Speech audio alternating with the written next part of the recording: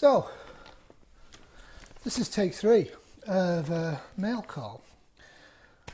At this point, I'm just going to do the mail call. Uncle Al, Die Frog 79, kindly sent me the list of Hudson Bay Pilot Survival Emergency Kit from 1956. And thank you very, very much, Uncle Al. I really appreciate it. Uh, he gave me some information on it and weights and stuff, and it was all very interesting. Specifically, this was the basis for uh, the early American space program survival kits, uh, used up into and including Gemini, which was the uh, two person rocket series. Uh, it was not used for Apollo and subsequent. Uh, he points out that Canadian and uh, Soviet survival kits were far superior to American ones. Not very patriotic, Uncle Al. Dare say it's true though. Uh, one of the interesting things people don't know about me is I actually spent some of my youth uh, packing uh, lifeboat and survival kits for the Royal Air Force in uh, RAF Kinloss up in northern Scotland. So I kind of really like these kind of things, like these survival kits. So in 1956 they came up with this and it was to do with the trade, the company's concerned with pilots crashing and dying in Canada, in the, in the wilderness, and this is what they had in it. So I'm going to go through what they have and tell you what I think. And then at the end of the video, uh, if you want to tell me in the comments what you think or you want to do a VR to this, uh, please feel free to do so. Uh, but do mention Uncle Al, Die Bullfrog 15, uh, 79. Tea bag, 28, purpose, making tea. Absolutely, uh, but why have 28 tea bags? Um, 28 tea bags is a good amount. Now remember with tea bags, for those of you who are rich Americans, uh, tea bags can be squeezed and dried out uh, so they can be reused. And when I grew up in England, we always had a little ceramic pot, uh, ceramic shelf next to uh, the teapot to put the tea bags in to reuse them. It doesn't taste as good, but it works. Vitamin pills, 50. Purpose making up for dietary deficiency. Absolutely disagree with that. Vitamin pills have no place at all in a short term or a medium term survival waste of space, replace them with glucose tablets or painkillers or whatever, anything. You're not going to run out of vitamins in a week or two. You're not going to run out of vitamins in a month or two. Beyond that, absolutely, and uh, going beyond the survival kit, uh, you really need to go to Costco or equivalents and buy 365 adult multi-tablets and you want to buy a bottle of them every so often and store them and hope you never use them. That would be a really useful bit of kit uh, in a long, long-term survival situation. But short term, vitamin pills, come on. Pilot bread, 30 ounces, purpose is food. Totally agree with that, uh, except I would take more pilot bread than that. It's a great, great thing to have. Butter, wouldn't bother.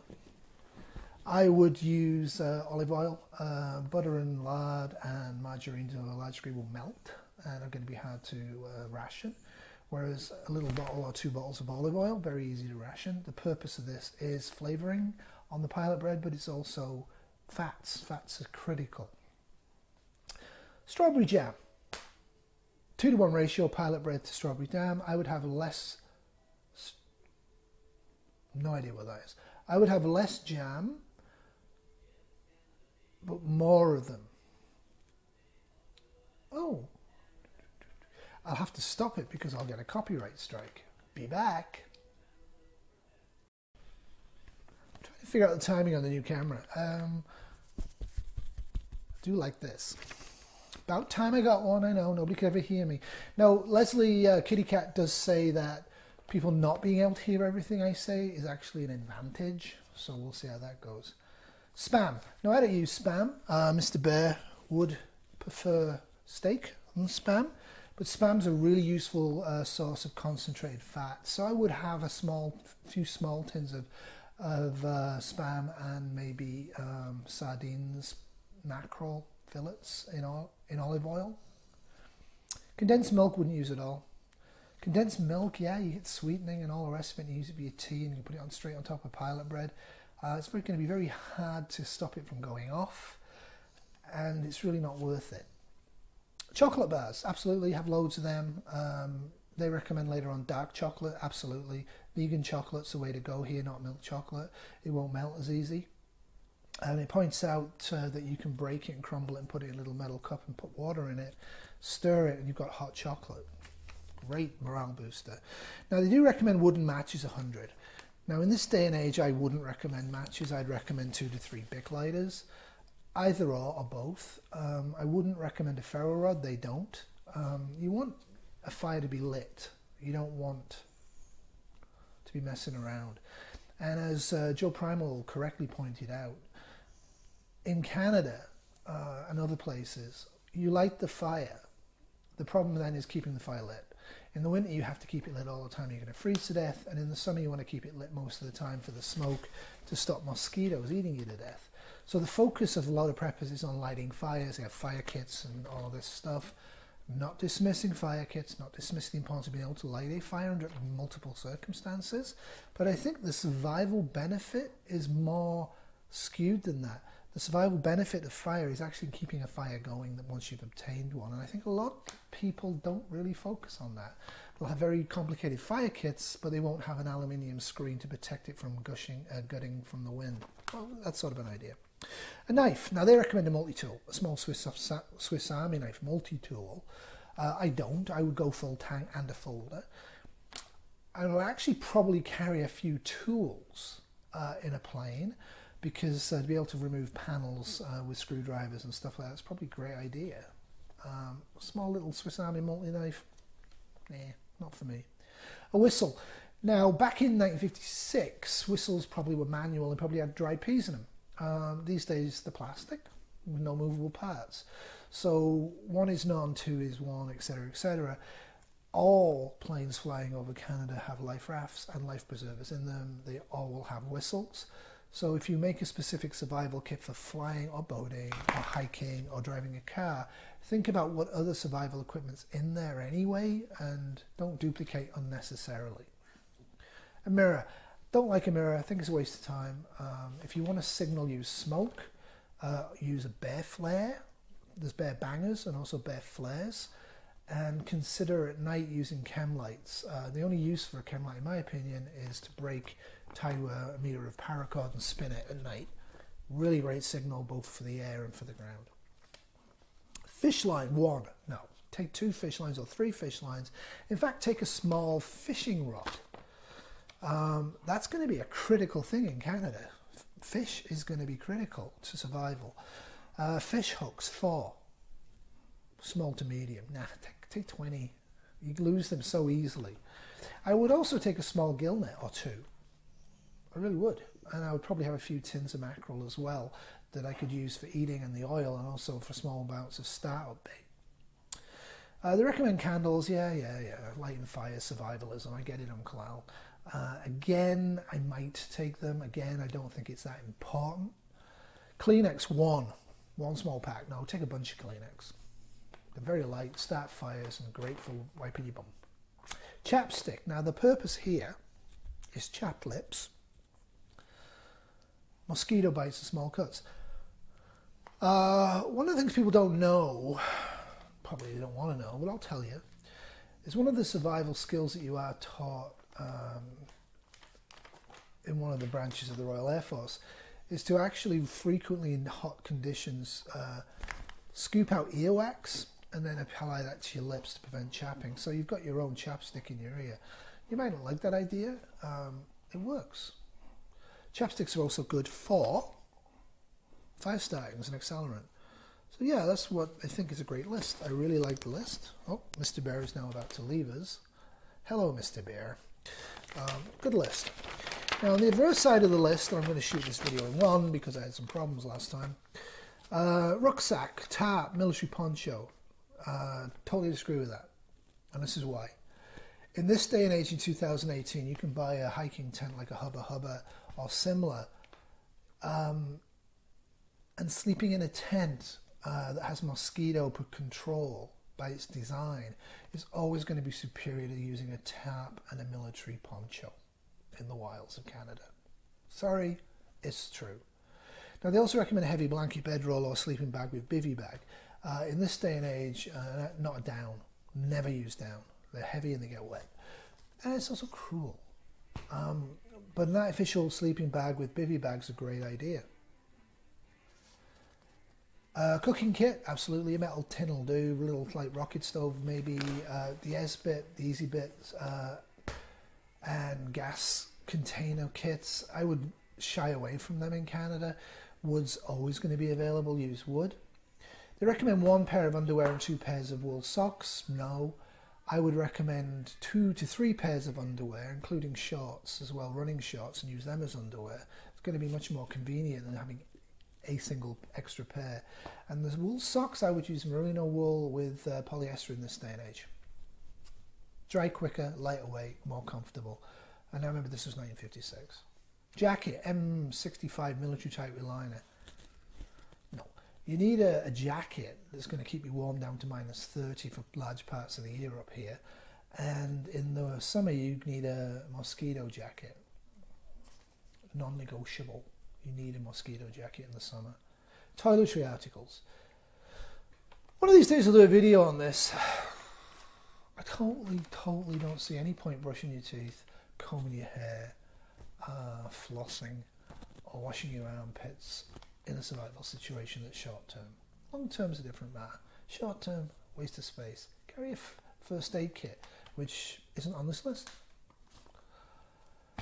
Flashlight and whetstone. Yes to the whetstone, very small one. Nice to be able to keep your axe and your knives sharp. Though remember, with axes, you do not want an axe too sharp.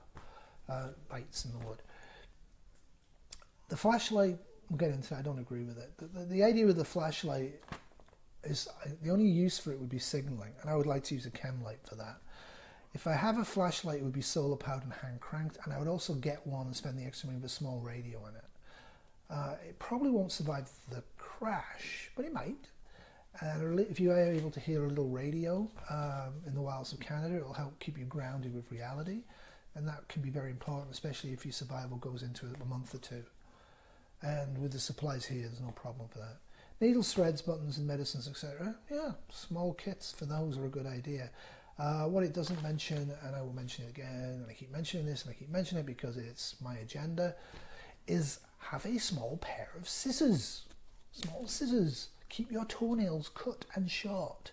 Toenail issues are an absolute nightmare if you are having to do physical activity or in a survival situation. They're the one thing that is really hard to replace with a knife. I can bite my fingernails off, I can't reach my toenails. And you might not have a second person with you, and even if you did, they might be unwilling to chew your toenails off. Now, the interesting one is the food. Uh, campus bread, dried bread, or rusk or pancake a pound. Uh, if I knew I was going in a wild area, I would probably carry more than one pound of this. You can carry two or three pounds easily enough. It's going to make a big difference. I'd also carry rice as well, which is not included in here. Uh, one of the things I would recommend uh, people think about more closely are baby rusks, Farley's rusks, I believe they used to be called. The baby rusks are actually great. You can eat them dry, uh, help for teething. Um, you might break teeth. They'll help with that. Yeah, serious. Think about it. And you can also add water in with them and mix them up and have a nice kind of a porridge. And they're very light. Take bulk, but they're light.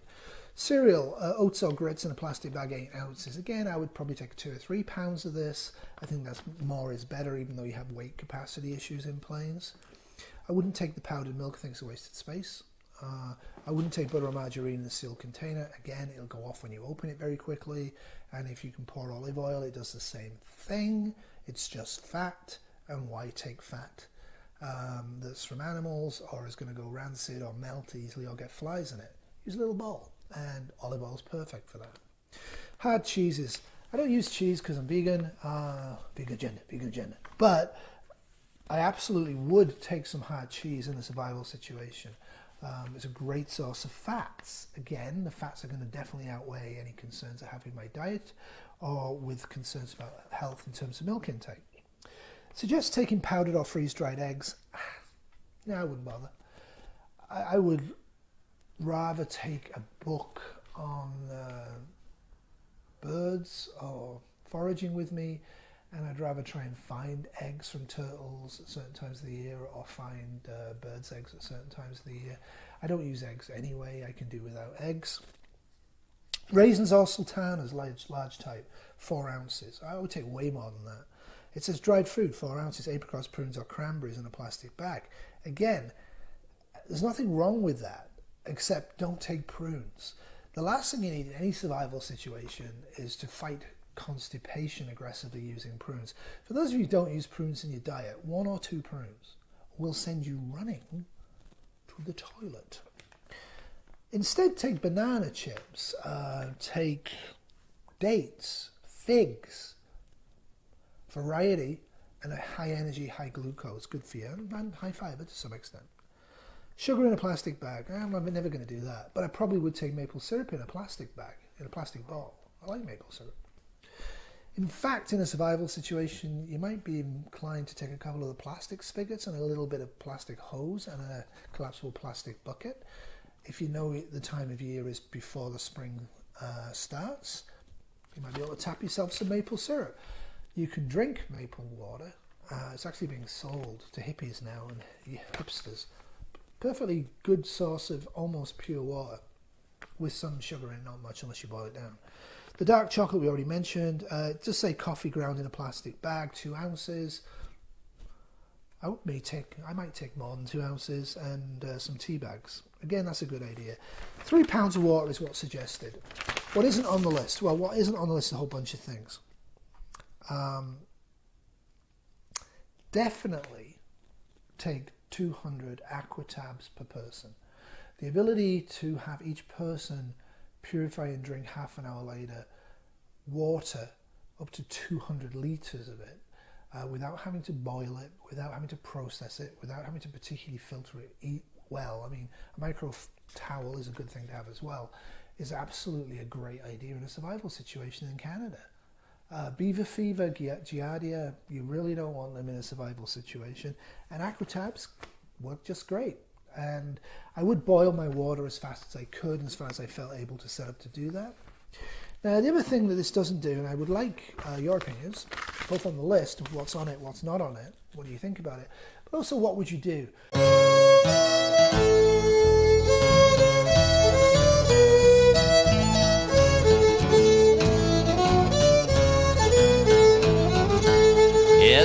Canada Day, up Canada way on the first day of July. And we're shouting hooray up Canada way when the maple leaf flies high. When the silver jets from east to west go streaming through our sky. We'll be shouting hooray up Canada way when the